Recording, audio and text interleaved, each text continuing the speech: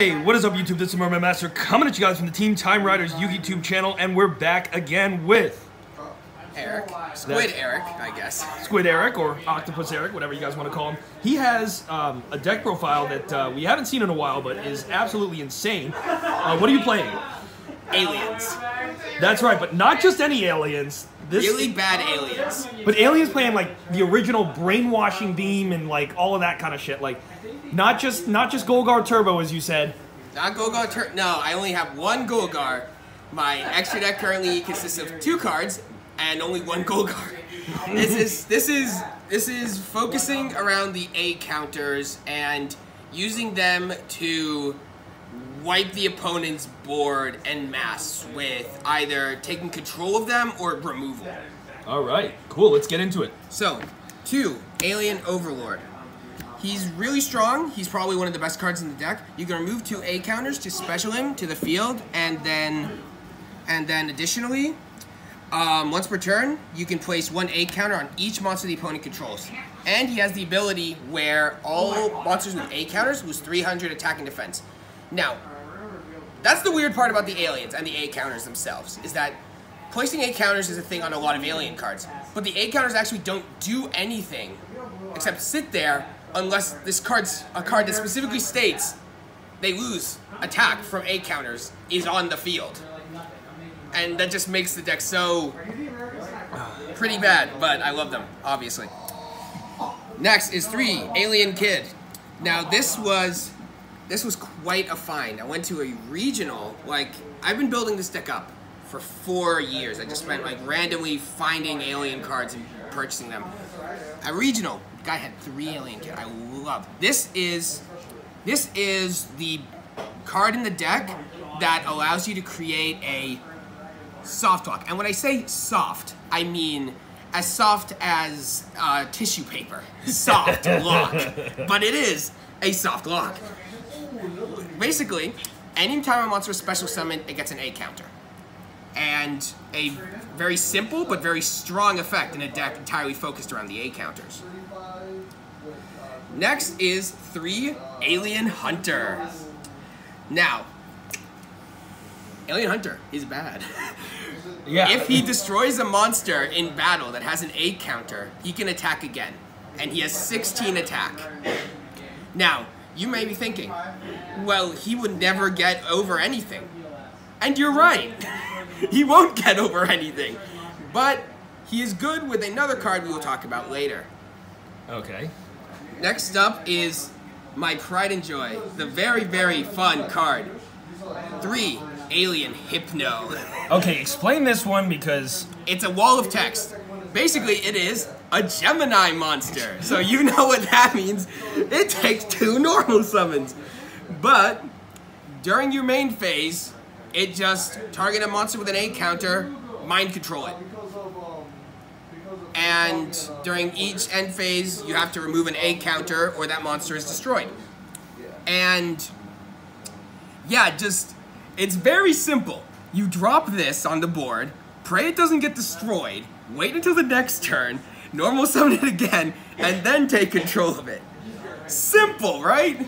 oh my lord. I'm I'm certain that um, I'm certain that all these Adamancipator decks will cower before the Might of Alien Hypno.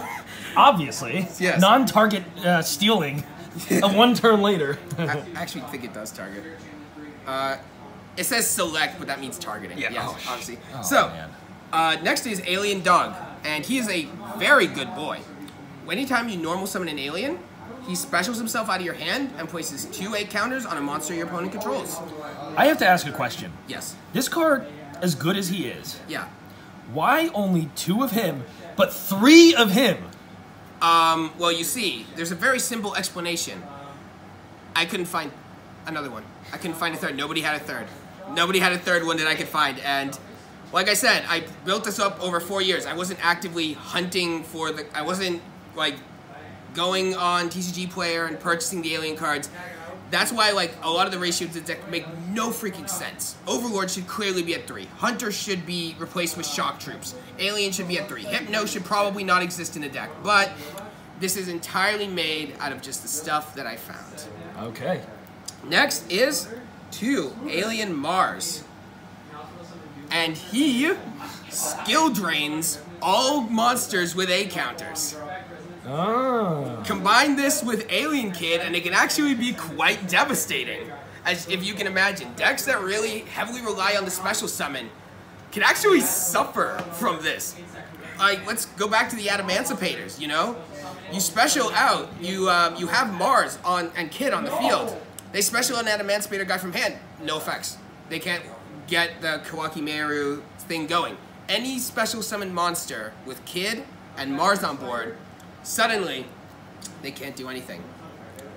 And next is the last part of this, the soft lock, the tissue paper lock, is one alien psychic. It- monsters with A counters cannot attack while he is on the field. The lock is Alien Kid, special, any monster special summoned gets an A counter. Mars, they cannot gain their effects. Psychic, they cannot attack. Now, I know what you're thinking. Okay. What if they normal summon a monster? And I don't have an answer to that. um, well, You should run Trap Hole in the deck. that's where that is where the trap lineup comes in. Do not worry, my friends. And Oh. finally, the most expensive card in the in this entire main deck, argue probably, two Alien Ammonite. Yeah, I agree with that. When it's normal, you resurrect a level 4 alien. And we got Hypno, we got Hunter, we got Kid, we got plenty of targets. And he allows you to go into Big Boy Golgar, who is a boss monster that is way too good for the archetype it is in. you know, it Yeah. is it is the equivalent of Cyberdarks randomly getting an Apollousa style card. You know, it's it's like it's that good for no reason, Well, they technically did because of Cyber Darkness Dragon, but it just is an absolute pain to get out. and it only has one negate. Like this thing, No, Golgar spreads A counters on the board by bouncing your own stuff, and any Tellarknight player who plays Triverr can tell you that's a good thing. Mm-hmm. Bounce your Fiendish Chains, bounce Call of the Haunteds, and others, tons of other continuous spells and stuff to spread A counters, which then your monsters give, give them debuffs, and then he can remove two A counters from anywhere to just blow up a monster once per turn. He's he's so strangely good. Finally, uh, so for the spells, three, A cell recombination device. Um, you send a alien from the deck to the grave to place A counters on a monster your opponent controls equal to the number to the, the level of the monster sent. That's where Alien Hunter comes in. He's a level four that we can pitch easily with this. Gotcha. Additionally, you can banish him out of the graveyard to add an alien from deck to hand, except the turn is sent to the graveyard. Um, I have a question, Konami. Why? Like, the new Chaos uh, spell thing allows you to activate its effect the second it's sent to graveyard and enables an FDK. But you can't give my aliens the same thing? what? what are you talking about, Konami? Uh, this is why we love and hate Konami. So, next is three mysterious triangle. What it does is it blows up any monster on the board with an A counter and specials a level 4 lower alien out of the deck, but it's destroyed during the end phase. Now this is kind of where you can try to speed up the, the soft lock.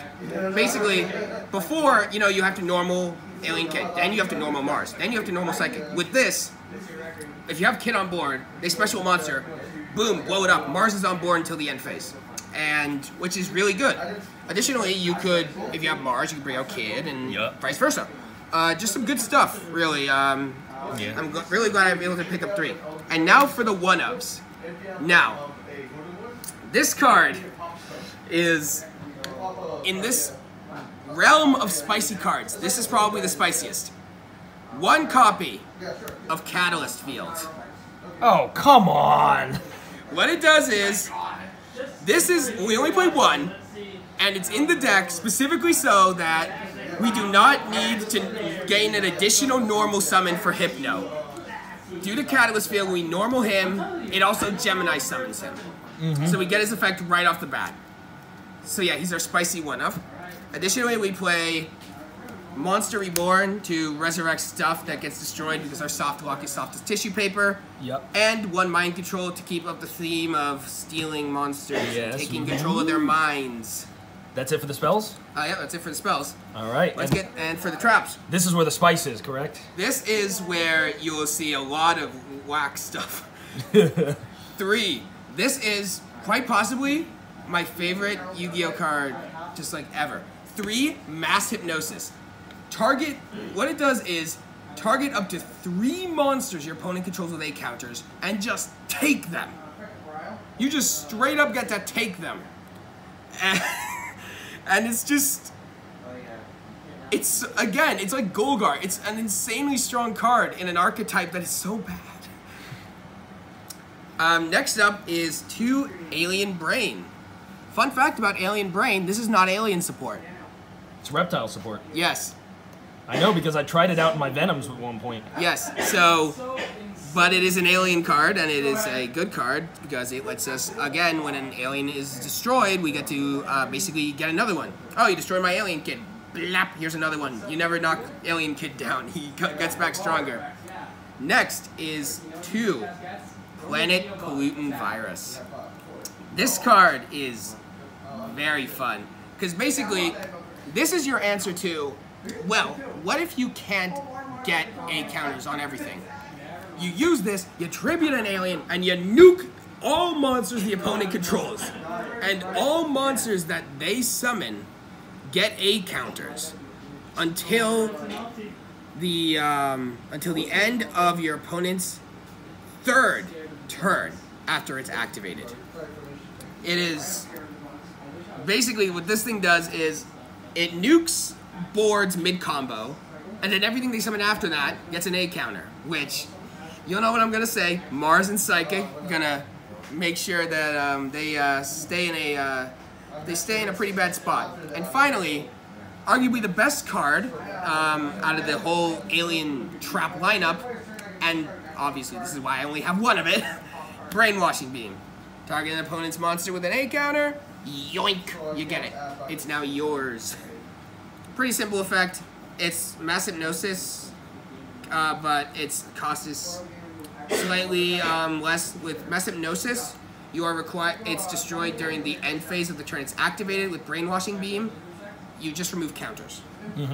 Um, so yeah, that is uh, it for the alien themed traps. And now for the actual traps.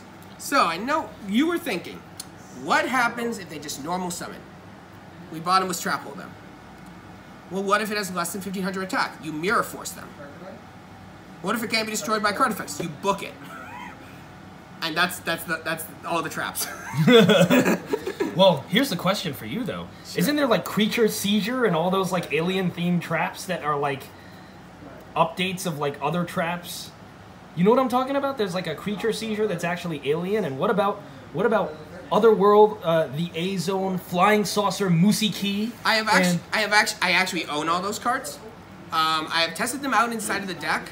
Um, I found that Otherworld, the A Zone doesn't really provide. Uh, it's 300 attack debuff for A counter. Um, it's not really what the deck is looking for. It, it is looking for ways to generate the A counters quickly and effectively to provide the massive removal that is ma- stuff like mass hypnosis and brainwashing beam. Stuff that doesn't um, deliberately accelerate that strategy, provide defense, or provide debuffs should not be included in the deck. Oh, The, interesting. the deck that I have right now, as weird as it sounds, I kind of tried to like streamline it.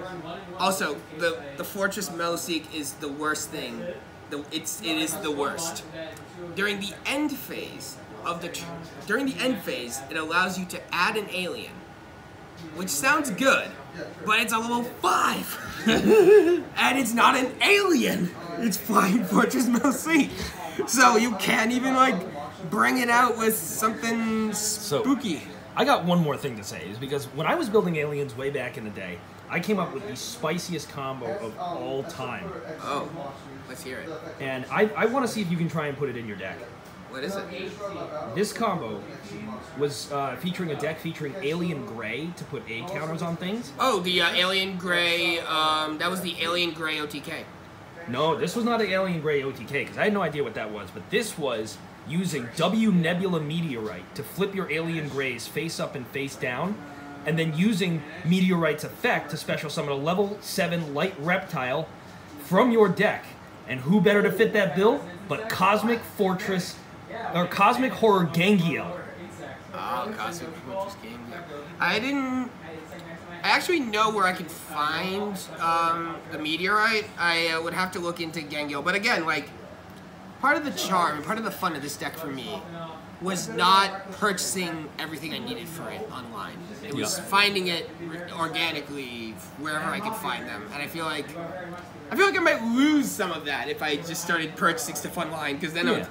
Then it'd just be like then I would obviously need to take out Hypno, and I can't just take out Hypno. He's too, he's too, He's too iconic. he's too iconic. All right, I love that you found a way to, to make it work, but uh, it, it is all right. Extra deck, two card extra deck. Ally of Justice Cataster self-explanatory. and Cosmic Fortress Golgar. We only have two Ammonites, so we only need two Synchros, obviously, right? Yep. Cosmic Fortress Golgar is just. It's so strong. It's for a level 5 synchro, it has a really good attack value, 26. Um, once per turn, you can bounce uh, spell traps to place A counters on monsters your opponent controls, equal to the number you bounced. And this is either player's spell traps. Yep. And you can remove two A counters from anywhere to destroy a monster on the field. It is an incredibly powerful counter generator, removal, and the biggest body that aliens can probably produce. In in this deck or in a lot of different variants. So yeah, that's the aliens. Awesome. That, this is actually an awesome deck, um, and I think it, it played very, very well and was quite strong. So, anything you would change, like assuming that you were able to find all the stuff you needed, like what what might you change in it to to make it like more streamlined, but at the same time keep the identity of what this deck stands for? So the Alien Link 2 came out a while back. I'd probably get that. Uh huh. Um, I would probably get Alien Shock Troops to replace Hunter. Shock Troops is a normal monster. and- Nineteen hundred. Yep. Yeah. Um, and obviously you could put in Rescue Rabbit, but where's the fun in that? That's not an alien. Get that out of here. Um, and what else? Alien Warrior. Alien Warrior is a card that exists. It's an 1800 attack, so it's better than Hunter in that regard. And then when it's destroyed by battle, I believe uh, puts two A counters. Yes. And of course, it's So alien. I would probably put in that over Hunter, uh, and I would probably No alien mother, right? no, no, no Alien Mother. I would probably uh, buy get a third over Alien Overlord. That card is immensely strong. A third Alien Dog, two more uh, Brainwashing Beam. Um, yeah, I think that and maybe some other random level five synchro. It can't be too strong though, you know. Like, Exactly. That would defeat the point. I'm thinking. Well, actually, hmm. What's good level fives? Let's see. Let's actually let's go with Tech Genus Hyper Librarian. Yes. When when they synchro summon, we draw a card. Very strong because aliens, if they're known for anything, it's synchro turbo. Oh my god. Yeah, they, they certainly rival Tech Genus on that level. Indeed, they truly do. All right. All right, so that's about it. Well, uh, thank you very much for that deck profile. It's absolutely enlightening to see what one can do with enough brain power, um, a, a small enough amount of money, and enough time. I would argue a small enough amount of brain power. But making a deck that actually has some kind of synergy using the old stuff is not something that you see that often. Um, but I guess to finish this off, uh, anything else you want to say about the deck or any shout outs that you want to give? Um, shout out to that random dude at regionals in 2019 who had three alien kid in his trade binder. that was very Clutch. a, surprise to be sure, but a welcome one. Fair enough. Um, the guy who uh, gave me the Cosmic Fortress Golgar um, for free. It was pretty crazy. He want um, he just he was just surprised anybody wanted it. like I showed him my alien deck that I was making for this, and he just said. Just said, "Take it." like you're. It's just like, okay then, sure. and also just I don't know, I guess shout out to that like guy on eBay who was selling like 10% of this current deck for $30 on eBay that I purchased when I was 10 years old. because um, that the failure then has led to this success in, in quotes success today. You certainly got your money's worth, all things considered. Indeed. Well, that was absolutely enlightening. Um, thank you so much for that deck profile.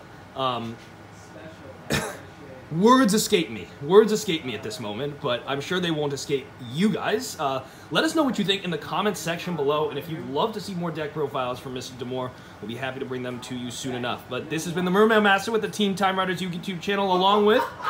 Squid Eric. That's right, and we're gonna catch you guys next time. Peace. All right.